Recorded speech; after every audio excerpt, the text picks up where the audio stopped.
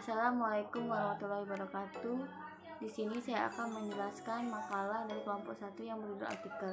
Sebelumnya perkenalkan nama saya Mustika Julianti dari Prodi S1 Farmasi.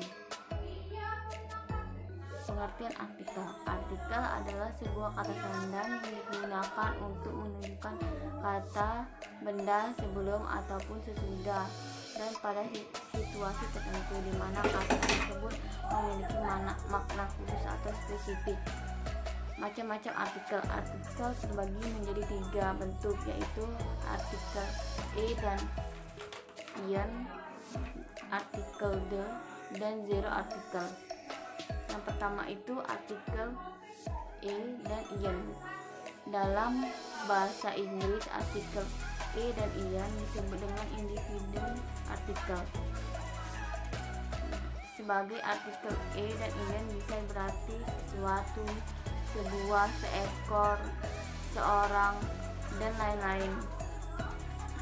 Tersebut dan artikel arti artikel tersebut tergantung pada kata benda sesudahnya.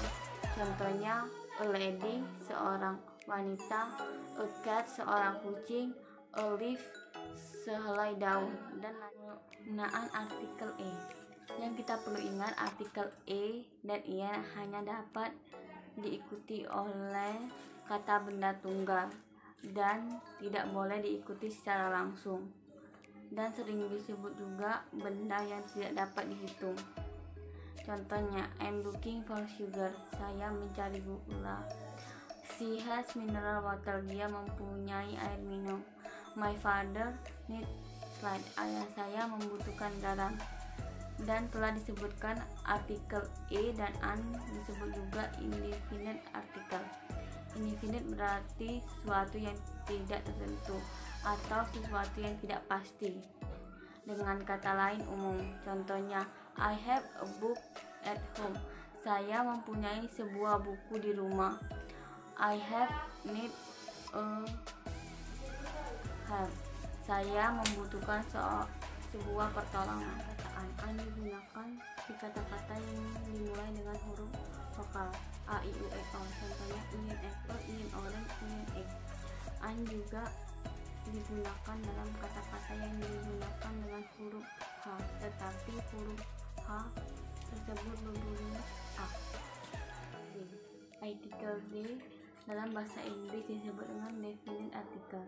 Definite berarti pasti, tentu atau jelas yang digunakan untuk sesuatu khusus atau spesifik. Contohnya the work, the the list. Zero artikel. Zero artikel adalah tanpa artikel ataupun beberapa kata yang tidak diberi artikel.